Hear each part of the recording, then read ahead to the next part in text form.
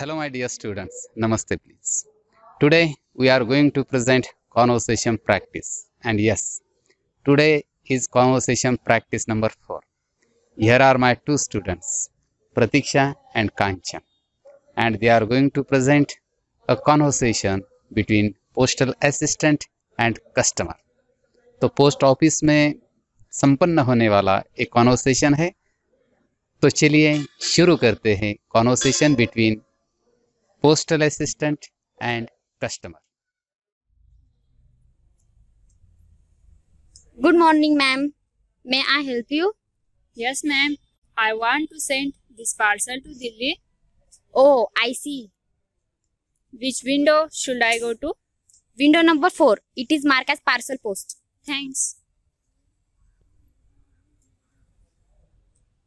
Excuse me, ma'am. Yes? I want to send this parcel to Delhi. Speed post or register post? Speed post. Let me see. Okay, you need rupees 120 for it. Here it is. Take the change. Your here is receipt. Thanks a lot. Why didn't you mention your address at back of parcel? Oh, I forgot. Thank you very much for reminding. It's just right now. I put it on right now. It's all right now. Thank you. You are most welcome.